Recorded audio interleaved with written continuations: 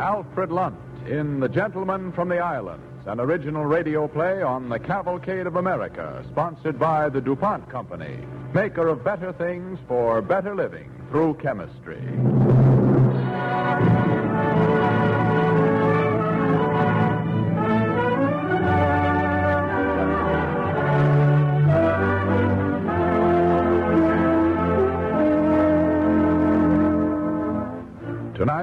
The Cavalcade Playhouse is especially proud to welcome for his first sponsored appearance on the air the celebrated American actor Alfred Lunt. The play he has chosen for this event tells the story of a gallant and courageous gentleman from the islands of the West Indies, whose destiny it was to secure the unity of a great republic. The gentleman's name was Alexander Hamilton. Our play, written by Robert Tallman, encompasses 24 fateful days days that were to bring death to Alexander Hamilton and to his country a legacy beyond price. The DuPont Company presents Alfred Lunt as Alexander Hamilton in The Gentleman from the Islands on the Cavalcade of America.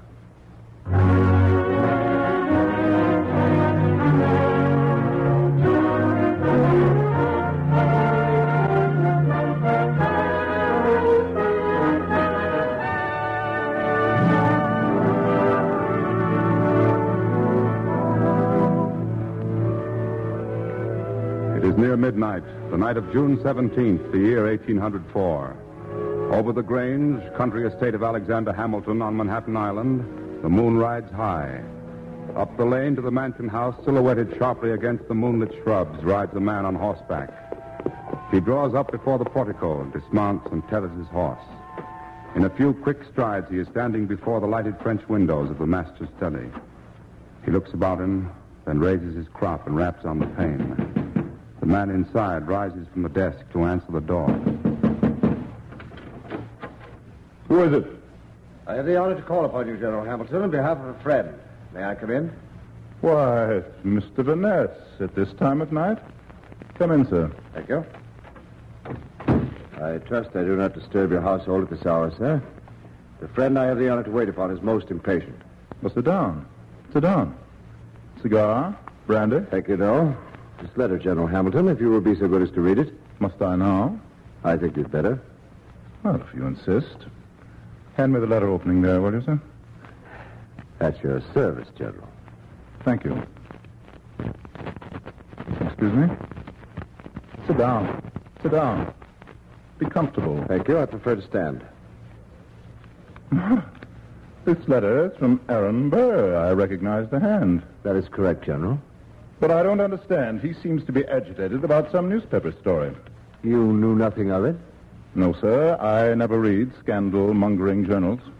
Apparently your friends do. But this concerns something a Dr. Cooper says I said two years ago. You deny having said it? That Aaron Burr is a dangerous man not to be trusted with the reins of government. That is only the published utterance, General Hamilton. Colonel Burr has reason to believe that in private you have sought to place him in an even more despicable character. Mr. Van Ness, despicable and more despicable is not worth the pains of distinction. Then you accept the challenge.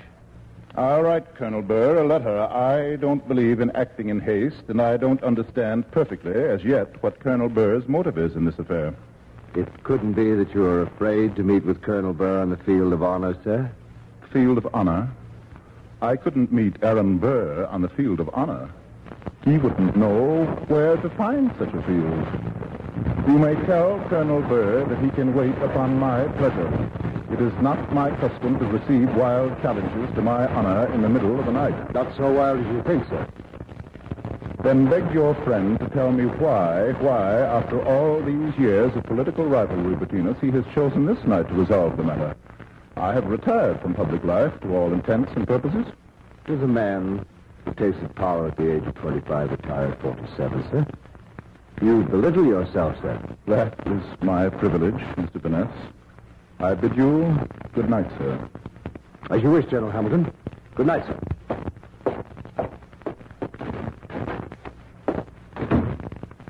Alexander?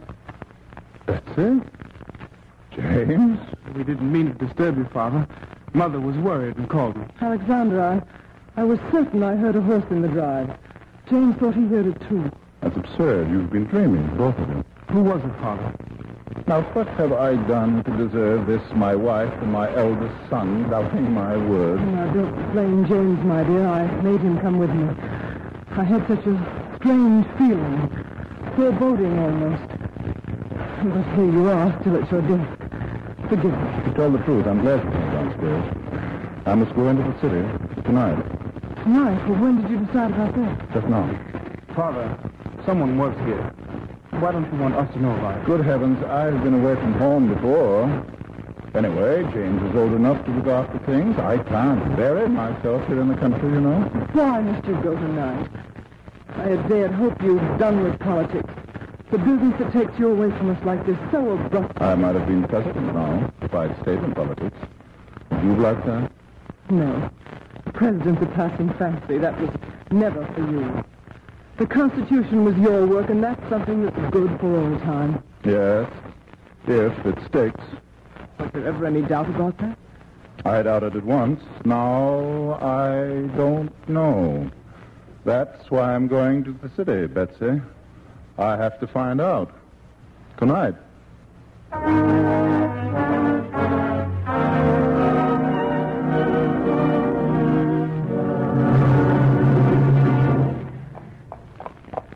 Whoa, whoa there, whoa. Oh, wait here, old girl. I shan't be long.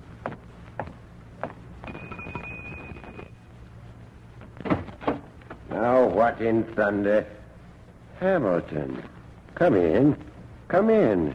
I I'll make a light. I know the hour's late, Judge Pendleton, but But think nothing of it. I just dozed off in my chair, as you see. You saved me a bad case of stiff joints. Yeah, that's better. Now, what brings you out at this hour? I just had a visit from Mr. Van Ness, the so-called affair of honor. On whose behalf? Colonel Aaron Burr, I trust you didn't do him the honor of noticing his challenge. not yet. You intend to do so? I might. You mustn't consider it. Burr is a deadly shot. This wouldn't be his first duel, you know. But it would be my first duel. First performances have a way of sticking in the public mind. Precious little comfort that would be if it were your last as well. I'm not so sure of that, Judge Pendleton. Why this concern over Burr, whom you've always held beneath contempt? Because I have reason to believe there is more to his challenge than meets the eye. Don't forget, Judge Pendleton, I'm not a bad shot myself. Burr doesn't gamble for little stakes.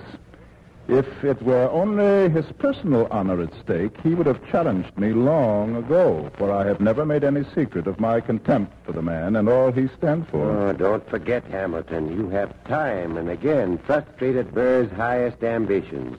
When he wanted to be president, you chose Jefferson instead. And only last month, you killed his chances of becoming governor of New York. He'd set his heart on that governor's chair. Ah, but why did that governor's chair mean so much to him? That's what I must make sure of, Pendleton. If the answer is what I think it is. Supposing you fought this duel, Hamilton. Supposing you killed Aaron Burr. You'd only make him a martyr. Ah. But if Burr killed me, what then? It's unthinkable. This whole thing is unthinkable, Hamilton. It must not happen, this duel. Judge Pendleton, of what must happen and what must not happen, neither you nor I can be the arbiters. Tomorrow I shall see Burr's political crony Swartwout. What good will that do? Good, if he tells me the story I think he will, well, there is always a final decision which no man makes for himself.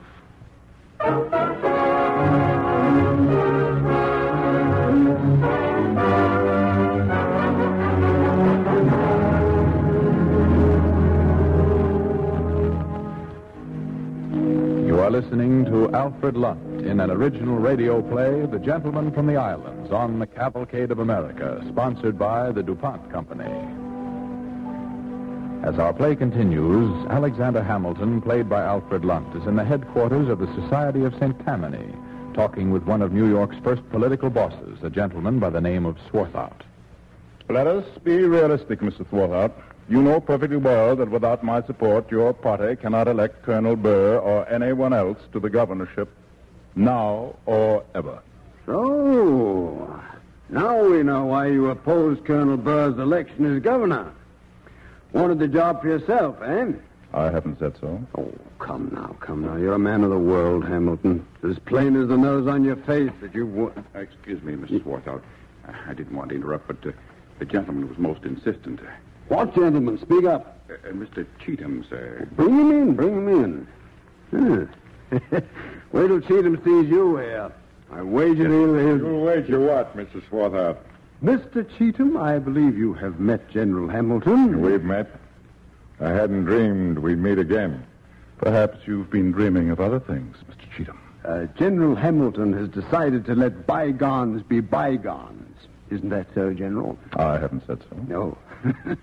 I assure you, Mr. Cheetham, General Hamilton is only waiting to find out what we have to offer him. Huh? Well, is that so? Gentlemen, let's come to the point. It has been suggested that the office of Governor of New York might have its attractions for me. I needn't tell you that I resigned from public office once because it didn't pay. Secretary of the Treasury of the United States of America. Couldn't make it pay. What you need is counsel, young man. Well, I'm willing to listen to your proposition, gentlemen. Willing to listen? what do you think of that, Cheetham? Willing to listen. But when we tell you what we have in store for you, you may think at first your ears have been deceiving you, Hamilton. Well, get on with it. Uh, are you quite certain of our ground here, Swartwout? Uh, Mr. Cheetham, you let me handle this in my own way. Hamilton, here's the story. Our friends in New England have taken Colonel Burr into their confidence. They plan that New England and New York shall secede from the Union. Secede from the Union? Are you serious? Indeed, we are serious. And what's more, I am confident that the French minister has assured Colonel Burr that France will back us up with all the military power she has. And when Napoleon's agent says that. When Napoleon's minister says that, beware, you will be his next victim. Would, uh, would that be so unpleasant? Napoleon is realistic, and so are we of the manufacturing states of this country. Jefferson is bound and determined to ruin our foreign trade, all for the sake of a vague, romantic notion he calls democracy. We can't compete with a disciplined, organized nation like Napoleon's France under such a system. And so you propose that we should play his game, hmm? Just so. You begin to see the possibilities, my boy? I do. Ah? And I have just this to say. A more evil, scurrilous, rotten, treacherous scheme has never come to my attention. Swine. That's what you are. Filthy swine. May God forgive the American people for ever having allowed men like you to be born on the soil of a free nation. Do you think the unity of this vast continent is subject to the whim of your little corrupt thirst for power? I tell you it is not, and never shall be. And just how do you propose to stop us, General Hamilton? With my life, if need be. My life is a little thing compared to the future of the unity of the United States. How my name goes down in history is a matter of small moment. How this great nation survives in history means everything.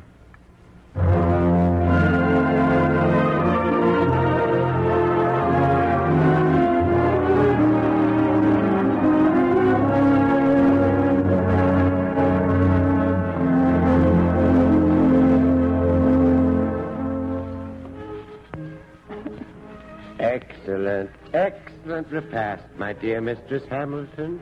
And music with the feast.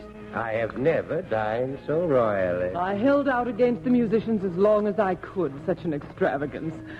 But Alexander would have it. James, when you're the head of the house, I adjure you, do not follow your father's example. You see the thanks one gets for a generous gesture, from the women at least. And the women, it's they we strive to please, after all. Don't be deceived, Father. Mother loves it. She told me so before dinner. Now, you're too old to be carrying tales, James. But it's true, Alexander. It's wonderful to see you so full of the enjoyment of life. Oh, one would think I had done nothing but add columns of figures for lo these 20 years. And today is an exception. It's the 4th of July, you know, but no brandy. You'll be drinking toast till morning, I suppose, at the celebration in town. I certainly hope so. Well, I wouldn't have you miss it for the world. Aaron Burr will be there for certain, and I want everybody to see how much handsomer you look in your dress uniform. Aaron Burr will be there. Of course, isn't he always? Why? What's the matter?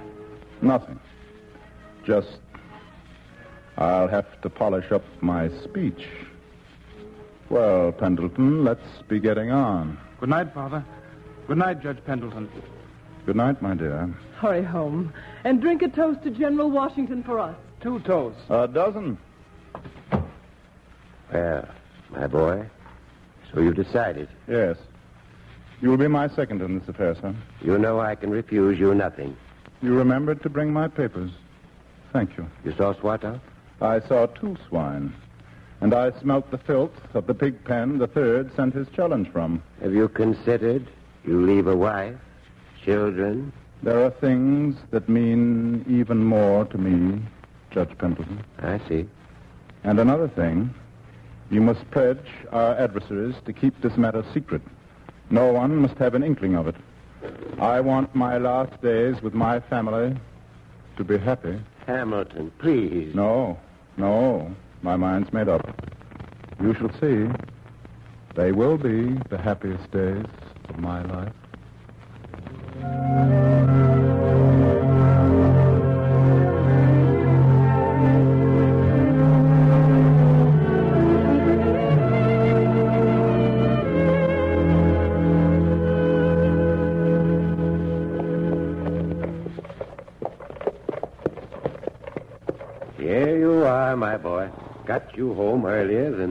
Expected. I'm very much obliged to you, sir. You were magnificent, Hamilton. The way you faced Burr as if nothing had happened between you at all. Nothing has happened yet. I spoke to Van Ness in the course of the evening. July 11th is the date. At Weehawken Heights, across the Hudson. The New Jersey laws on dueling are more liberal. July 11th. And this is the 4th. The 5th now, six days. Well, good night, Judge Pendleton. Good night. And God bless you.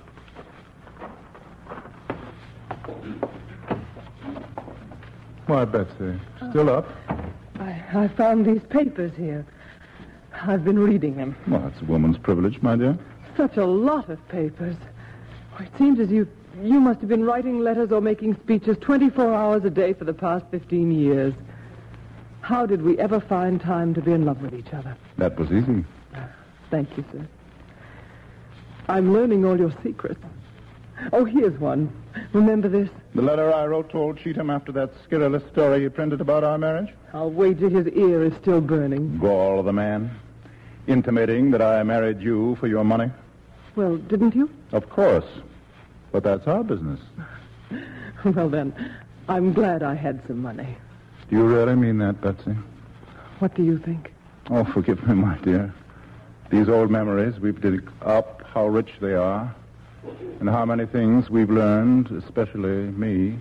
Oh, here's the letter from General Washington after you quarreled, remember? Oh, yes, I remember. He said I kept him waiting. I stopped to talk to Lafayette on the stairs. It couldn't have been more than two minutes, but General Washington insisted it was ten. Naturally, I had to stand on my honor. You had too much honor in those days. I like you better now. Perhaps I haven't changed as much as you think, Betsy. Why do you say that in that strange tone of voice? Alexander, what is it with you these past weeks? Have I seemed not like myself? Too much like yourself. Your old self, I mean. This elation. I remember you like this before when you were going to Philadelphia to stand up against your elders for a constitution you wanted. I survived it, didn't I? Yes, and I prayed for your safety every night. Oh, you were so outspoken. There were so many hot-headed men there, the kind that fight a duel at the drop of a hat. Uh, what is it, Alexander? Did I say something to offend you? No. No, of course not.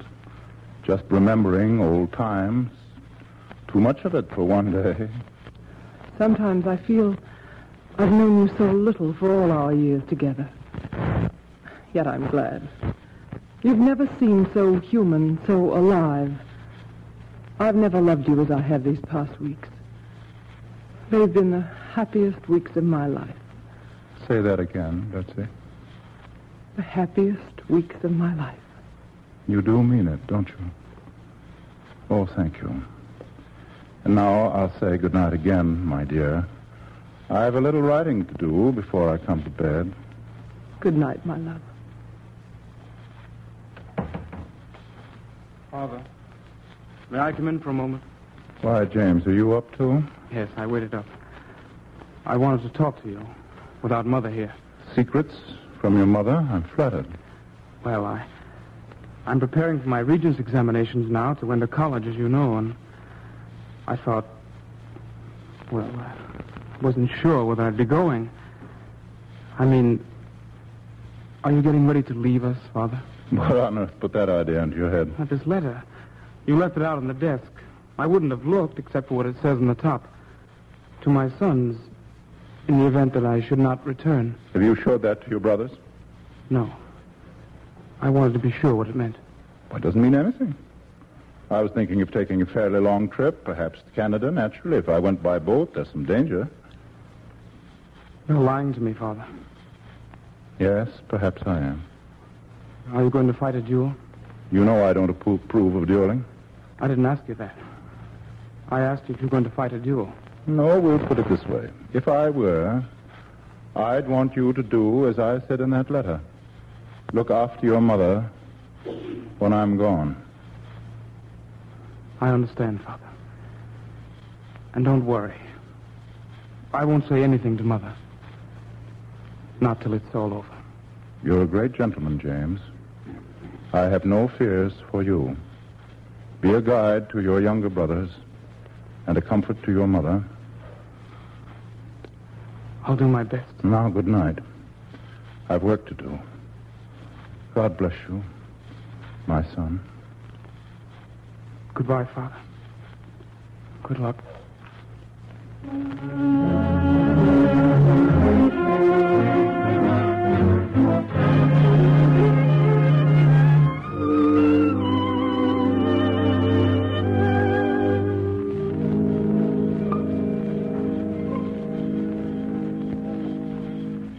Ten paces, gentlemen. Ten paces. Ten paces.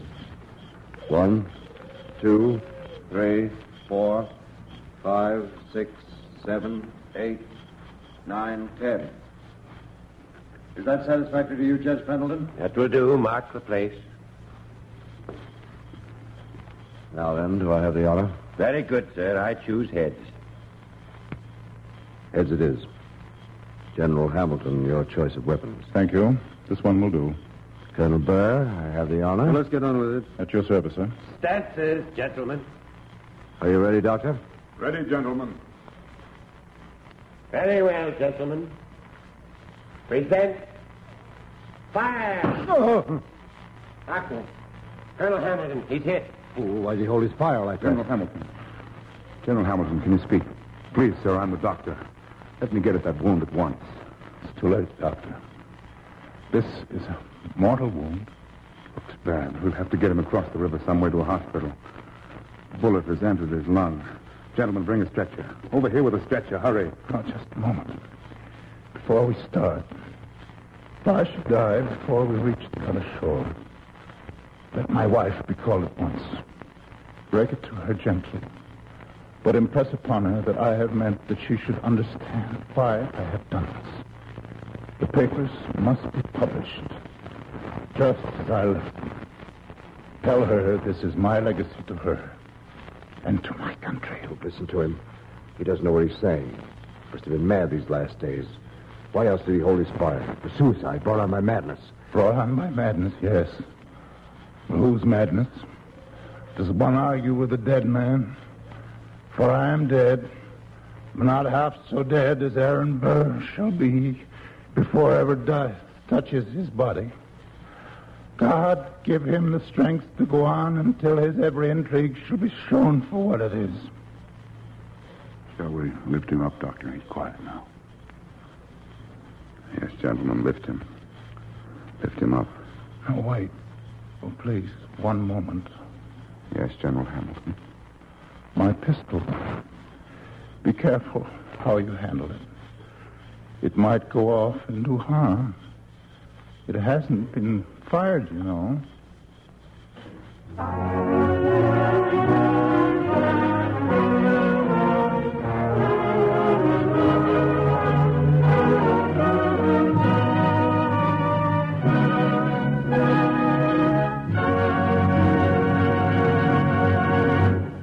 And now, the star of tonight's cavalcade, Alfred Lunt.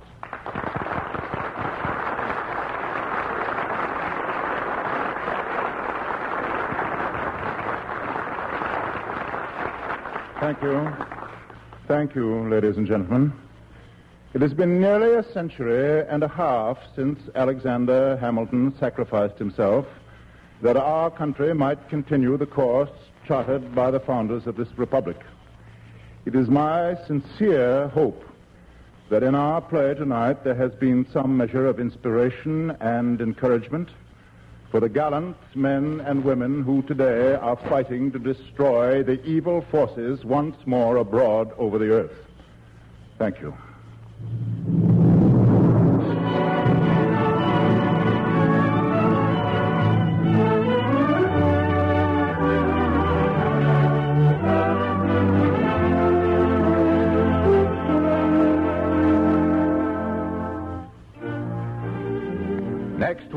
On The Cavalcade of America, the distinguished character actor Dean Jagger in a new and thrilling radio play called Man of Iron, a story of John Ericsson's invention of the monitor.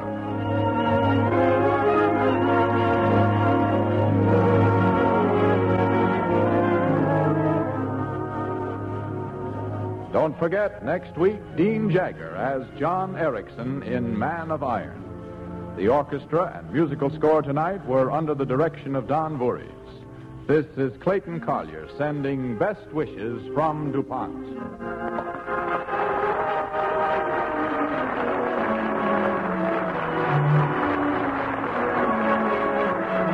This program came to you from New York. This is the National Broadcasting Company.